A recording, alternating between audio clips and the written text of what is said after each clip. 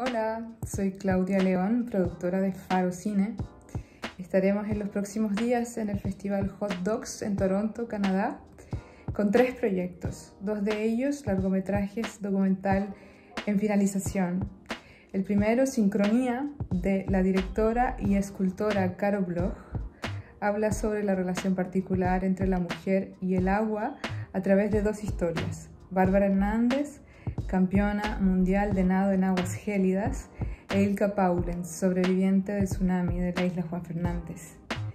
Segundo título, Sebastián Vidal, dirige Al sur del invierno está la nieve, un documental observacional rodado en la región de Magallanes, en la Patagonia chilena, y muestra el cotidiano de los habitantes de esta zona luego de una tormenta de nieve.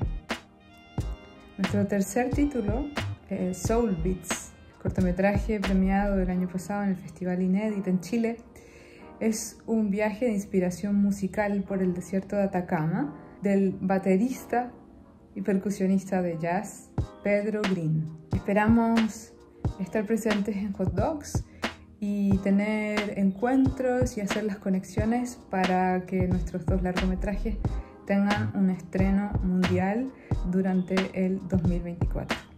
Nos vemos en Hot Dog.